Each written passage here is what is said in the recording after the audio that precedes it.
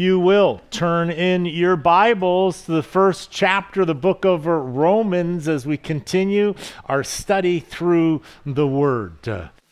Now, this book, uh, this epistle that we have before us, is truly an amazing, exciting uh, letter that was uh, written uh, and recorded for us. It is written by the Apostle Paul. Paul is the uh, author of this uh, letter. And you remember where the book of Acts ended. The book of Acts ended where Paul, after his third missionary journey comes to Jerusalem with the gift, uh, the love offering to the poor. He's arrested. He heads to Caesarea. He's in Caesarea for two years. And then finally, he's transported to Rome, a tumultuous uh, shipwreck in Malta. And finally, he, he arrives uh, there in uh, Rome. And that's where the book of Acts leaves off. And so it's a great segue into the mm, book of Romans. Now, Paul writes to the Romans three years earlier than where we are seeing Paul was left off in the book of Acts. Paul writes this at the end of his uh, third missionary journey. You'll remember it's winter time. And so he is in Corinth. It is right uh, in during those three months uh, that he is in Corinth that he writes this letter to the uh, Romans. After the winter is over, Paul heads uh, and goes to Philippi. That's where he celebrates Passover. And then you'll remember he wants to get to Jerusalem by Pentecost in order to bring that gift to them. So Paul writes this in the winter of his third missionary journey he lets them know that, man, he wants to come to Rome. His desire is to be able to minister to them there in uh, Rome. And so, uh, one of the reasons that he writes this is to uh, let them know that that is uh, his desire. But he also now, instead of him being there to minister, he wants this letter now to minister to him.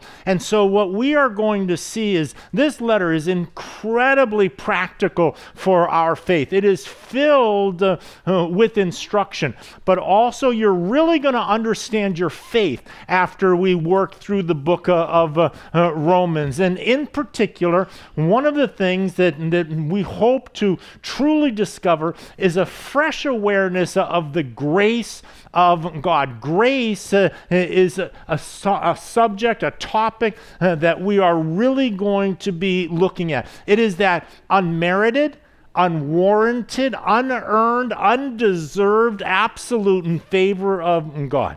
God pours his grace out upon us because that's his nature. He is love, and love pours itself uh, out. And we are the recipients, not because we're in a position to where we've earned it or deserved it. It is because of the goodness uh, of God that he pours out his love upon us, and we are the recipients of his great, great grace. And, uh, and so, we see that uh, Paul now is going to uh, begin the typical format of a letter in that day was starting off by identifying who it is that's writing, and then second, who they're writing to, and then third would be a greeting or a, a, a salutation, and then after that is going to be the, the letter itself. And so the uh, first few verses, we are going to see those three introductory parts. We begin in the first verse, chapter 1, book of Romans, and it says, Paul,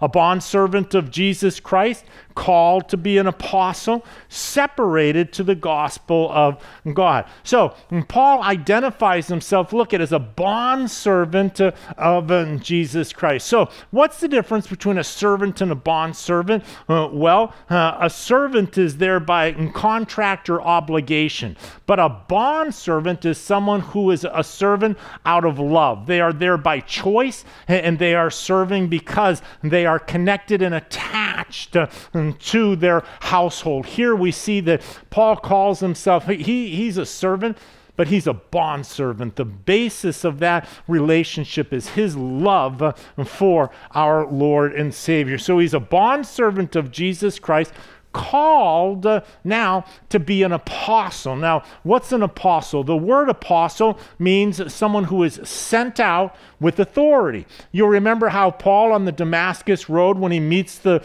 uh, the Lord, and the Lord um, blinds him and then shows him the things that he is going to suffer, and then makes him into an ambassador to the Gentiles uh, with the gospel. He's going to bring the gospel, the good news now to the Gentiles. It says that he was separated to the gospel of God. What is the gospel of God? What's the good news of God that Paul had now been commissioned to go and to share with the Gentile world? Well, the gospel of God is, is that the promised Savior, the Messiah, the King of Kings and the Lord of Lords, he's come. And in his coming, he has redeemed mankind and dealt with our sin. He has washed away our sin as the Lamb of God that takes away the sins of the world. So that which separated us from God has been removed, and we can now be connected to a holy, righteous, uh, loving God. And so that's the good news uh, uh of God. We see the good news of God in verse 2, which he promised before through his prophets in the Holy Scriptures concerning his son Jesus Christ, uh, our Lord. So, this good news of God is not the new news of God, it's the old news uh, of God. You see, God had promised that he was going to send this Messiah. Over 300 promises and prophecies in the Old Testament uh, referring to this Savior, to this King. A King is going to come who is going to set this world uh, right, who is going to sit upon the throne of David and whose reign will never end. And so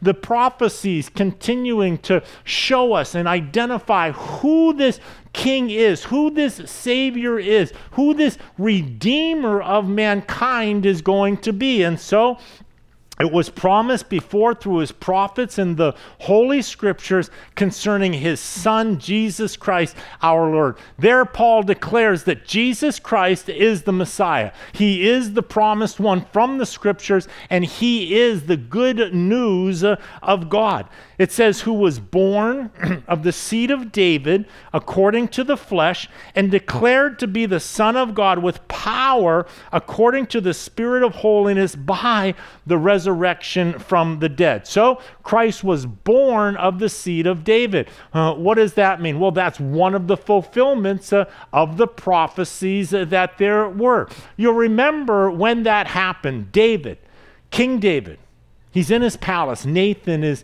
the prophet that was with him. And David is living in opulence, in luxury. He, he looks out from his balcony, and there's the tabernacle of meeting. That's the place where people would worship. And he's observing the worshipers going in and out of this tent of meeting. It had traveled around with them, and it had been moved now to Jerusalem. And, and David looks at that tent where God is dwelling. He looks at the palace where he's dwelling, and he's like, I know what I'm going to do. I'm going to build God a house. I'm going to build a temple for God. And you know what, Nathan? I'm not going to spare any expense. This is going to be the most magnificent building ever for God to be able to dwell in. And Nathan the prophet looks at him and says, Do all that is uh, in your heart, David. That would be awesome. And, and that night, the Lord visits Nathan the prophet and says, Nathan, did you check with me first before you told David that he was allowed to build that temple? He can't build the temple. He's a man of war. He's got blood on his hands. You have to go back there tomorrow and tell him that he can't build the temple for me. But go and tell him that while he can't build a house for me, tell him I'm going to build him a house. Tell him that from his house, his lineage, his offspring, the Messiah is going to come, and he will be known as the Son of David. And so Nathan has to go back into King David the next day. King, I got some good news, bad news uh, for you here, and tells him he can't uh, he can't build him the temple, but that God is going to have the Messiah come from his offspring.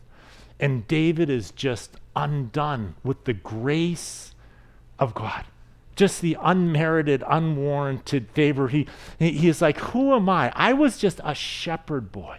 I, I was a boy out in the fields keeping sheep, and, and you took me and you established me as king over the nation of Israel. And now, on top of that, through my offspring, the Messiah is going to come. And so, one of the titles of Jesus, of the Messiah, is son of David. And so as as Paul is writing out to hear the beginning of the book of Romans talking about this good news, the good news is that the promised king uh, has come and his name is Jesus Christ and and he is the one prophesied and he is the, the son of David that the scriptures speak about and it says that he declared to be the son of God uh, with power according to the Spirit of holiness by the resurrection from the dead. You'll remember when Jesus was cleansing the temple that, uh, that the authorities came to him and said, By what authority do you do these things? Show us a, a sign that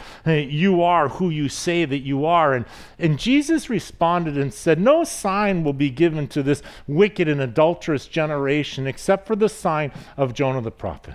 He says, As Jonah was three days and three nights in the belly of the great fish, so also will the Son of Man be three days and three nights in the heart of the earth. And so the resurrection was the absolute confirming sign that Jesus is exactly who he said. He says, I have the power to lay my life down and to pick my life back uh, up again. He holds life and light and the power of eternal life uh, in his hands. And so it was through the resurrection that he demonstrated with absolute proof that every single thing that he said uh, is true. It is through him, verse 5, through Jesus, that we have received grace and apostleship for obedience to the faith among all nations for his name, among whom you also are the called of Jesus Christ. So it is through Christ that the blessings flow into our hearts and into our uh, lives. And, and it says, among whom you also are the called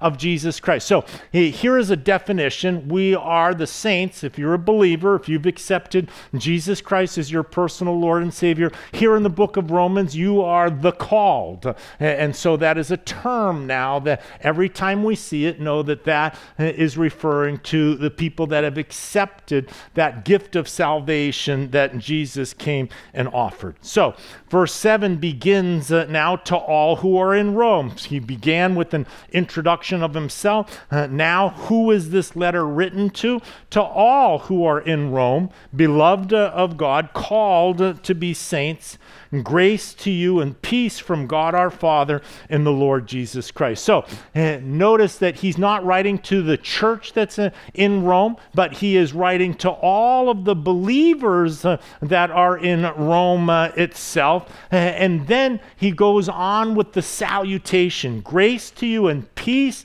from God our Father and the Lord Jesus Christ. Now, this is a typical salutation of Paul and the letters that he writes in the epistles. You will see the twin pillars of grace and peace uh, used uh, together. Now, I want you to know that they're always in that order. It's always grace first and then peace. Why?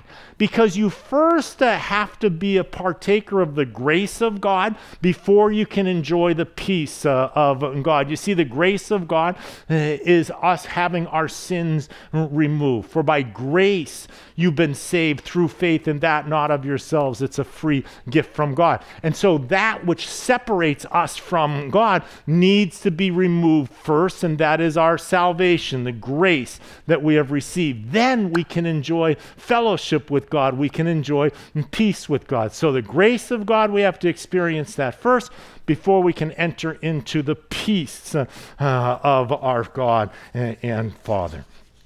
In verse 8, he now begins uh, the letter.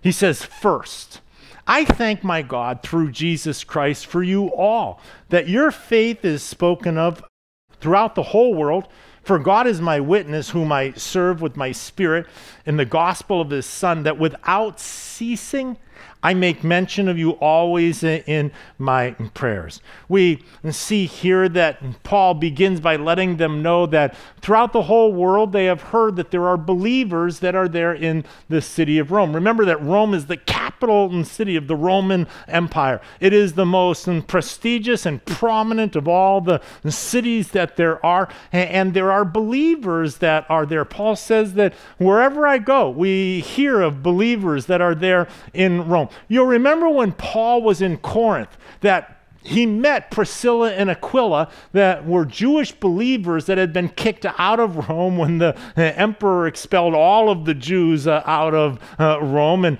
and so they were believers that had come uh, out uh, of Rome. He says that, uh, that faith, your faith, uh, is talked about in, in all of the other churches that the gospel had reached Rome. Paul hadn't reached Rome, but the gospel had reached Rome. He says, I, I pray for you always. I don't cease praying for you there in Rome. He says, making request, verse 10, if by some means, now at last, I may find a way in the will of God to come to you. For I long to see you that I may impart to you some spiritual gifts so that you may be established. That is, that I may be encouraged together with you by the mutual faith, both of uh, you and me. Paul says, I'm praying for you, I'm interceding, and, and one of the prayers that I make is that I'm going to be able to come and see you. He says, I, I, long to come and to visit you, not to see the sights of Rome, not to be in the imperial city.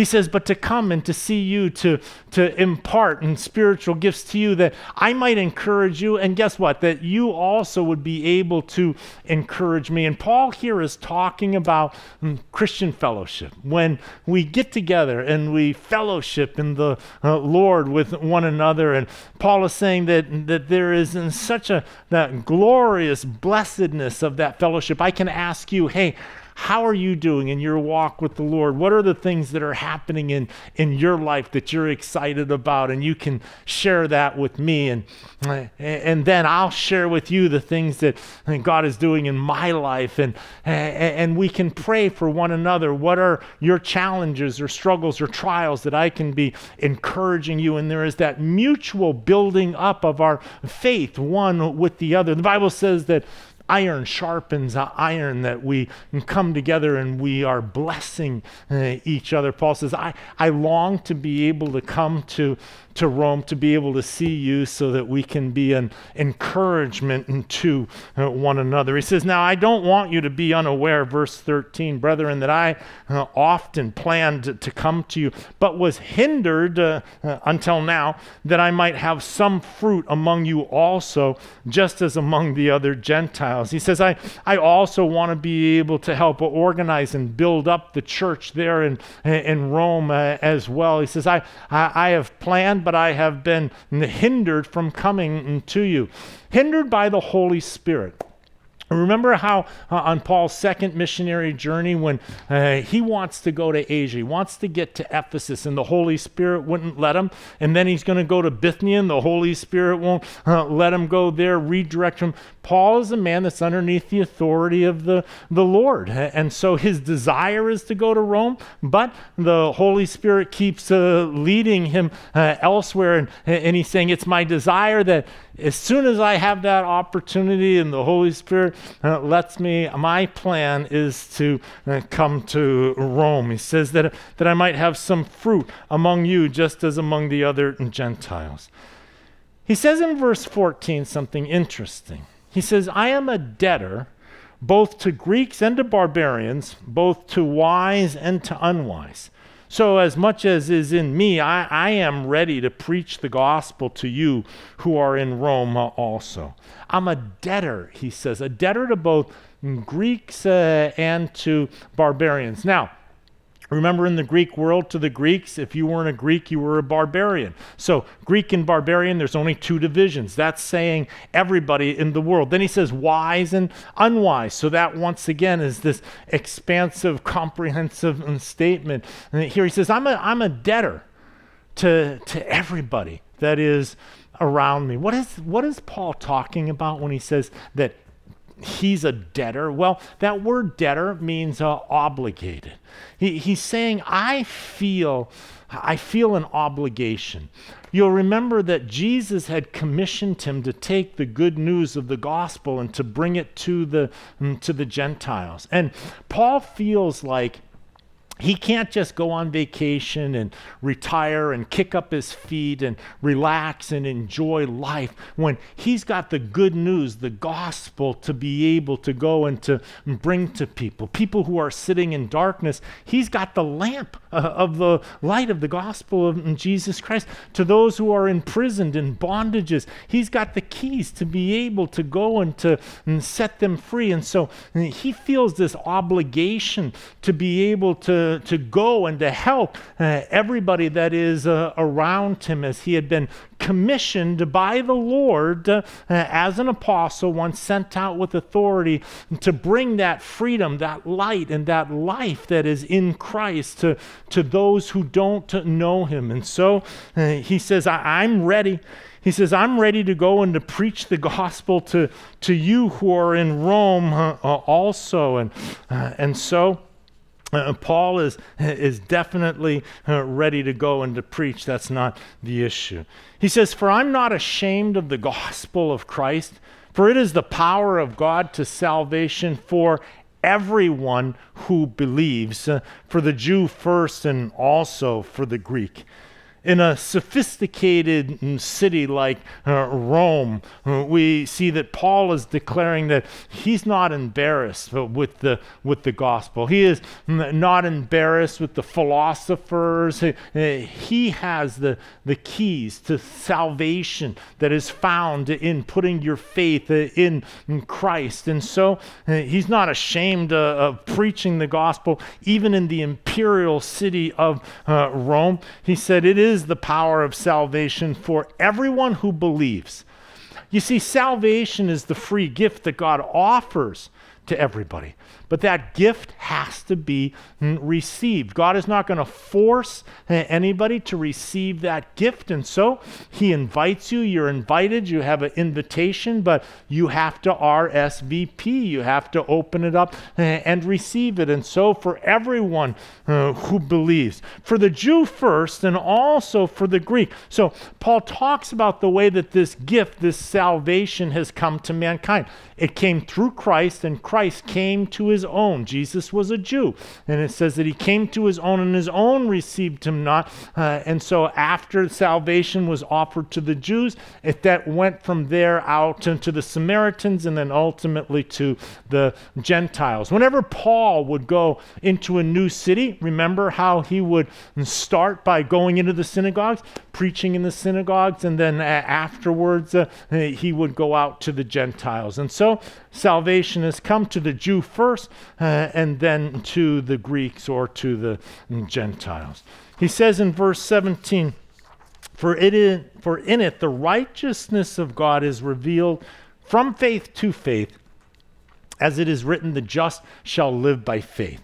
And so we see here that this is one of the most quoted verses from the Old Testament that we have in the New Testament. It comes from uh, Habakkuk chapter 2, verse 4. Uh, and it deals with the fact that once we are saved, the just, the justified, people that are saved, uh, we are saved by faith, but we also live by faith. In other words, that birth, that new birth is by faith. And that's where we're connected to God. Uh, and then it continues, our connection connection to God continues by faith. So it's not a one and done, uh, but it is the beginning of a new relationship where we are connected now. And, and the eternal life flows into us through that connection that we have with God the justified, those that are saved, are going to live their life by faith.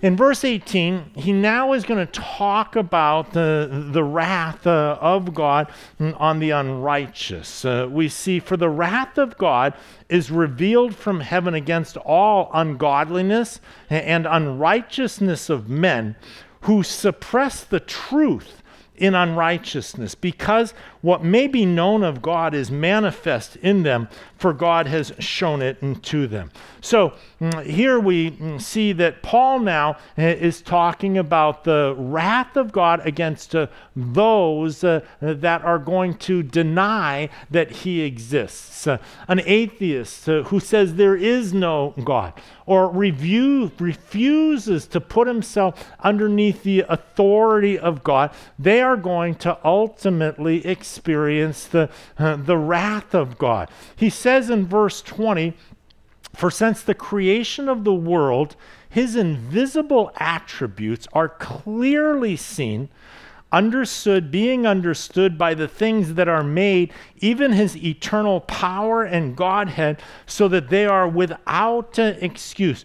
Paul is saying that every single person on the face of the earth, God has revealed himself to them. His invisible attributes are seen in what? In his creation. When you look around, that nature declares the glory of God. So if you're going to say God doesn't exist, you're going to have to suppress the truth of what God has clearly revealed to every single heart. God has given to everybody a conscience, and God has revealed himself uh, in his in creation. And so to say that God doesn't exist uh, and to refuse to be in a relationship with God, you are suppressing uh, now the truth of what God has uh, revealed.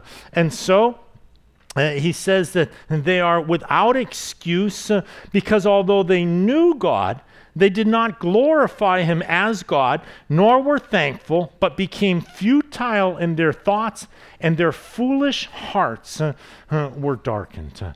And so, once again, here we see that God is not going to force himself on anybody. They refuse to believe in him, they refuse to have a relationship, though God created them. And God's desire is, is that they would be in communion with them. For God so loved the world uh, that he gave his only begotten Son, willing that none should perish and that all should come to eternal life. But uh, they reject God. They don't want to believe in Him. They don't want a relationship with Him. The Bible says that the fool has said in his heart that there is no God. And so they are foolish uh, because you are either going to experience the grace of God or the wrath of God. You are either going to be with Him eternally or you're going to be separated from Him eternally. And so it is that foolish person that chooses to be separated from God uh, eternally. He says, professing to be wise they, they think that they're wise, but they became fools and changed the glory of the incorruptible God into an image made like corruptible man and birds and four footed animals and, and creeping things. Professing themselves to be wise, they became as fools. You see, anybody that tries to explain the world around you without God, apart from God, separated from God, eh, is foolish. They declare that they are wise, but in essence, they are fool. All philosophy, philosophy is the attempt to understand the world around us without God. Without God. And so now, making up your systems of ideologies and beliefs and arguments, that's all philosophy. It's all vanity. It's worthless. It is foolishness. When Science tries to explain the world around us apart from God. It's, it's foolishness. And evolution is foolishness. It's, it's interesting. You know, in evolution, they believe in the Big Bang. They believed that all matter was compressed together, held by an incredible, strong mm, force, and then that force released. The universe exploded outward. That we are currently living in an expanding universe that is heading outward, and they will give us the, uh, the number of miles that it is expanding outward. And, and, I, and I want you to know I believe in the Big Bang. I, I believe that God said, bang, and there it was, and it exploded outward, and, and it's being measured and in that time. I've got no problem with that whatsoever. But ask them where all the matter came from. Ask them where everything that exploded outward, that is the universe, ask them where that came from. They have absolutely no answer for you. You see, trying to explain the, uh, the universe, the world, the matter in which we mm, live in apart from God is just simple foolishness. But they declare themselves uh, mm, to be wise uh, when they try and explain uh, all that is apart from God. It says in verse 24 that therefore God also gave them up to uncleanness in the lusts of their hearts to dishonor their bodies uh, among themselves, who exchanged the truth of God for the lie and worship and serve the creature rather than the creator who, is blessed forever. Uh, amen. So, here we see that God now, when you reject God, then God is going to allow you to be given over to the carnal passions uh, of your life. Now, we see that these are people that reject the moral authority of God. Today in our culture, that's exactly what is happening. They are saying there is no such thing as moral truth, that no one can know moral truth and no one is the author of moral truth, that morality is an individual choice, uh, and that if it's not hurting anybody. I'm free to do whatever I want with my body. I won't judge you. You don't judge me. And there is no moral authority on the face of the earth. That's what's being taught in our culture today to this next generation.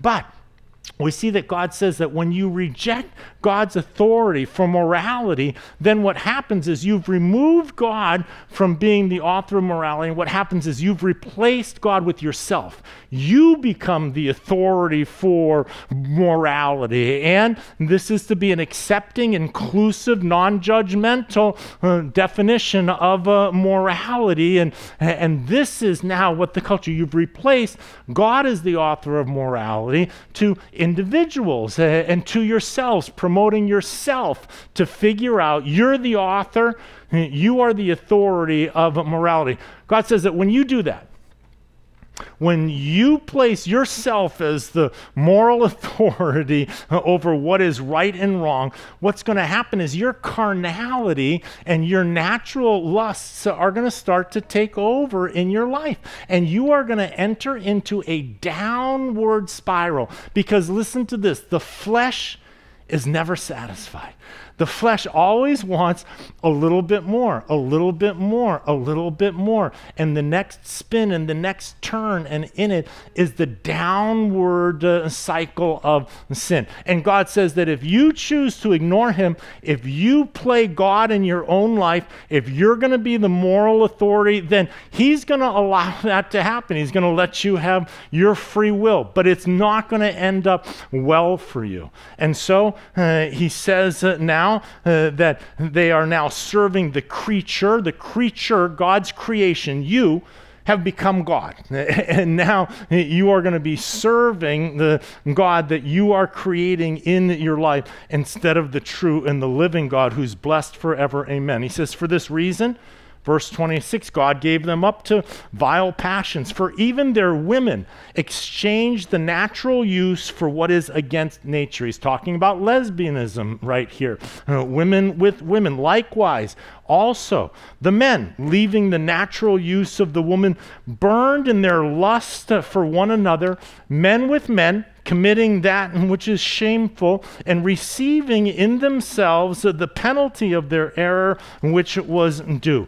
And so here we see that Paul uses homosexuality, um, both in the female and the male expressions, as an example uh, of God giving mankind over to their lust. Now, I want you to know that homosexuality isn't anything that's new. Back in the Roman Empire, I, I want you to know that the emperors and the leaders and homosexuality was absolutely rampant. When Paul is writing this, homosexuality is rampant in the Roman Empire and in the culture. It was completely uh, acceptable uh, in that day. And Paul is using this uh, as an example. Now, whatever happened to the Roman Empire? Who came in and conquered this great uh, empire that there was? People will tell you that what happened with Rome is no one conquered Rome. It rotted from within, and then it collapsed in upon itself. And so here we see Paul just using this as, uh, as an example of his day, not our day. He's not talking about what's going on in, in our culture, he's talking about the things that were going on 2,000 years ago in a culture, the dominant power in the world that had now embraced uh, the immoral vileness uh, that had led them into a downward spiral. And, and he says, This is what happens when you remove God from being the moral agent of a society uh, and you now let your own passions and your own carnality be the moral judge of what is right and uh, wrong.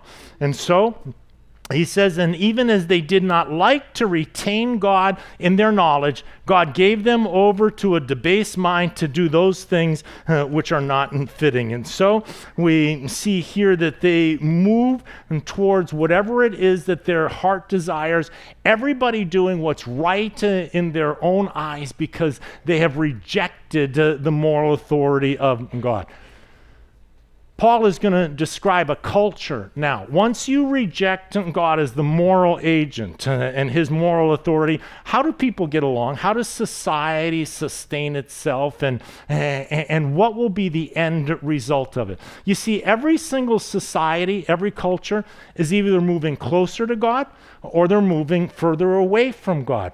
Paul is going to describe in the next verses what happens when you throw God out uh, and you allow people now, his creation, to be the moral governance uh, uh, over society. And, and as we read through this, I want you to ask yourselves uh, whether or not you feel as a nation, uh, are we moving closer to God, or, or as a culture and a nation, are we moving further away from God?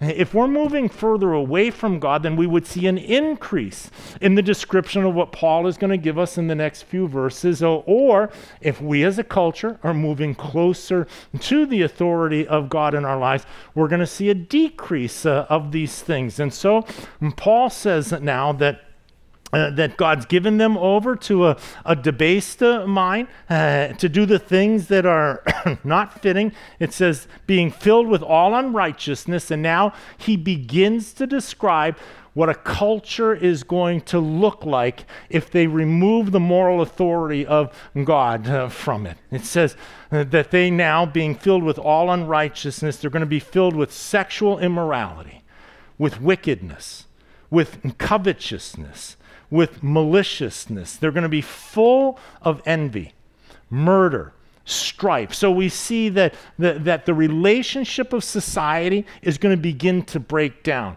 that there is going to be more aggression, there's going to be more strife, there's going to be more division with uh, each other, there's going to be more violence. Things are going to start to mm, teeter, um, if you will, and, and percolate in here. Murder, strife, deceit, evil mindedness. They are whisperers, backbiters, haters of God haters of God. Keep God out of this. We're going to separate God from our culture. The separation of church and state is nothing more than an attempt to move God uh, out of the marketplace uh, of our culture so that we are not accountable to his moral authority over our lives. And, and so uh, they are violent, they are haters of God, they're proud, they're boasters. They're inventors of evil things. They're disobedient to, to parents. They're undiscerning, untrustworthy, unloving, unforgiving, unmerciful. Who, knowing the righteous judgment of God, that those who practice such things are deserving of death, not only do the same, but also approve those who practice them. It says that they're going to be proud. They're going to be proud of their sin. they're going to have parades about their sin. They're going to not only are they going to have parades, but they're going to applaud, it says, everybody else uh, who is also in, involved in the sin, and they are going to encourage not only what they're practicing, but they're going to encourage uh, everybody else to practice it as well, having no shame uh, whatsoever uh, in their sin. And this is what Paul says that when you remove yourself from the moral authority of God, God is the one that has declared what's right and what's wrong, what's in bounds and what's out of bounds. When you remove God as that moral authority, ultimately what you are going to see is a downward spiral as the carnality of man and the fallen nature of man is going to have its foothold. And ultimately, it will not lead us up it will not be progressive. It will not be uh, an evolution up, but it will be a devolvement down into the base nature uh, of uh, mankind. When we look at the chapter one of the book of Romans, we, we walk away with a clear understanding that regardless, listen, regardless of whether a culture is moving closer to God or a culture is moving away from God. The bottom line of Romans chapter 1 is, is that every single one of us needs a Savior. Amen? That there is none righteous, no, uh, not one. And so that is the, the ultimate message here of this first chapter uh, of the book of Romans. As we close our study, I want to draw our attention for just a minute back to verse 1, back to where Paul says that he's a bondservant of Jesus Christ called to be an apostle, separated to the gospel of God. That was interesting to me. Separated to. You see, normally it's a separating from you normally get separated from the group and, and you are lost. You, you separate the dark clothes from the lightened clothes. Uh, Christ is going to separate the, the sheep from the goats. It's normally a separation from. But notice here that mm, Paul doesn't say what he was separated from. Notice that he says what he was separated to. It is forward looking to where he is going, not uh, from where he has come. Now, what was he separated from? It's interesting because he was a Pharisee. And the word Pharisee means someone who is separated. You see, the Pharisees were the ones that they saw the Greek culture and they saw the loose morals of the Greek culture. And as Alexander the Great had conquered the whole world, the influence of the Greek culture spread across the whole world underneath their dominion and continued underneath the, uh, the, the, the, Roman Empire as, mm, as well. And the Jews saw that their people now, uh, underneath the liberal thinking of the, uh, of the Greeks, uh, were starting starting to move away from the law of God. And so the, the Pharisees were the ones who said, We are not compromising on God's word. We are going to continue to live separate from the culture and we're going to obey God's law. Now, here was the problem great intention of the heart. But as they started to focus on keeping the law in their heart, they started to have a relationship with the law instead of a relationship with God. It became about the do's and the don'ts and who was doing more of the do's and less of the don'ts. And if I'm doing more do's than you, then, then you know what? I, God loves me more than he loves you because I am being a better Jew than, uh, than you are being. And what it does is it turns God uh, into a a, rewarder and a punisher now uh, of your own actions. Uh, the, the more that I obey God, the more that I'm going to be blessed. The more that I disobey God, the more that I'm going to be punished. And so now my punishment and my reward is based upon the rules uh that I'm keeping or that I'm not keeping. And, and what you end up with is a relationship with a set of rules. How am I doing with my rules? Am I doing more bad things or more good things? Is there less bad things in my life than used to be? Am I, eh, am I doing more of the good things than I used to be? And so you start measuring yourself against a set of rules.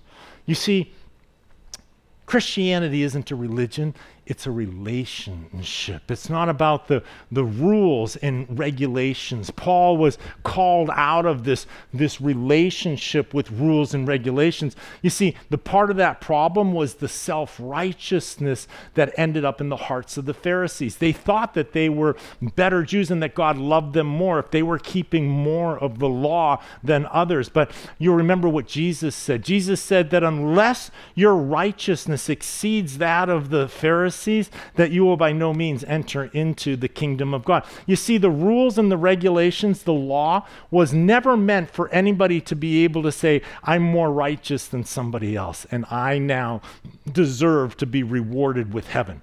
The purpose of the rules and the regulations, the law, that God gave. Number one was to reflect his character and his purpose. But number two, it was to show every single person when you measure yourself against the law that you're a sinner, that you fall short, that you are a lawbreaker. And so it wasn't meant to justify anybody, it was meant to be able to tell everybody that they fall short. So Paul was separated from this system of trying to feel that I'm better than others by doing more of the things that God wants into a relationship with Jesus Christ. You see, my concern and, uh, and my desire is to make sure that we don't take and turn Christianity into a, a set of rules and regulations and then start to look at those rules and regulations as, as a barometer to how I'm doing as a Christian. You see, we've been set apart, we've been separated from our old sins. We've been separated from the bondages and the, uh, the activities that we used to do. But we don't measure ourselves by what we've been separated from. We measure ourselves but what we've been separated to. And what have you been separated to is to a relationship with Jesus Christ. You see, when I want to talk about how you're doing spiritually, I don't want to know about your sin. I, I don't want you to tell me if you've got more sin than you used to have or less sin than you. That's not what the measurement is. The measurement is this how close are you to the Lord? How healthy is your relationship with the Lord? Ah, that's different than rule keeping. The relationship with Jesus Christ. See, what makes a healthy relationship? What, what makes a, a solid marriage and a good mm, marriage and a good union? Well, uh, number one, it, it takes communication. You need to be spending time with each other and you need to be in communicating.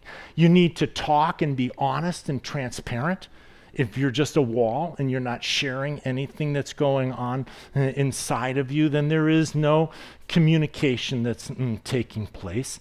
You, you have to listen and spend time to listen to what God has to say to you, what the Lord has to say to you. And there needs to be a commitment to protect that relationship. You see, sin, you know what the problem with sin is? Sin hurts your relationship mm, with the Lord. So we don't want to sin, not because we're going to get in trouble, but because when you love someone, you don't want to do anything that's going to hurt that relationship. You want to bless the relationship and protect the relationship. Uh, and that relationship is your blessing. And, and so sin isn't about getting your hands slapped or God mm, being mad at you or, or smiting you. It's about your hurting your relationship. When you're in a marriage, you don't want to do anything that's going to hurt the other person and is going to hurt that relationship. And so suddenly, sin is not about rules and regulations, it's about relationship. It's about mm, love. It's about intimacy with uh, the Lord. And ultimately, we are going to spend eternity wrapped up in His light, in His love, in His presence. Do you know that one day you're going to know the Lord the way that you're known by him. God says he knows your risings up and your goings down. He's, he, he's crazy about you. And that knowledge that he has the very hairs on your head are numbered, you're going to know God in such a way and be connected to him. You see, we don't measure ourselves by the amount of mm, sin that we have or we don't. That's looking backwards. We look forwards to how is my relationship uh, with the Lord doing and, and not bringing a set of rules and regulations into it, but letting love be the guide in your life. And as you draw near to the Lord, guess what's going to happen to the things that you've been separated from? They're going to fall farther and farther uh, away from you. Don't measure yourself by the things of the past. Measure yourself by the proximity of the relationship with Jesus Christ uh, and your commitment to engage in a healthy relationship with the Lord. Let's pray. Father God, thank you for this time. And God, we ask that you would just help each and every one of us in our relationship hmm, with you. God, that uh, we wouldn't be looking back at what we've been saved from, but that we would be looking forward to what we've been separated into.